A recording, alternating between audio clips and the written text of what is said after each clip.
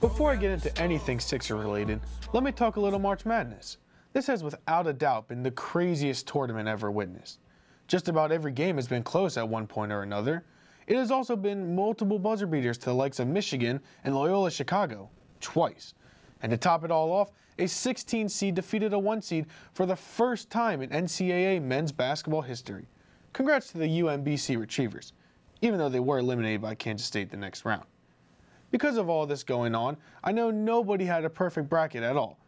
Plus, this hype may have taken my focus off the Sixers slightly, but I'm here and focused now.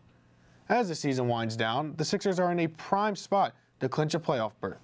With a record of 38 and 30, they are poised to make a run. Now, I'm not saying Philly is winning the championship, but they will be a tough out come playoff time. But who truly knows? I mean, after all, this is the year of the underdog.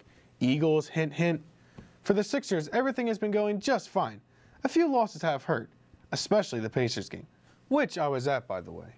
They kept it close the whole time, but could not seem to pull ahead. It was a tough loss to swallow. No need to fear, however.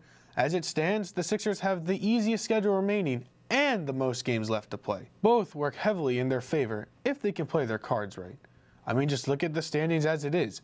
Philly is still only a game and a half out from the three seed. In all honesty, with the way the Cavs have played lately, the Sixers could snag that seed. It has been an all around team effort to get this position.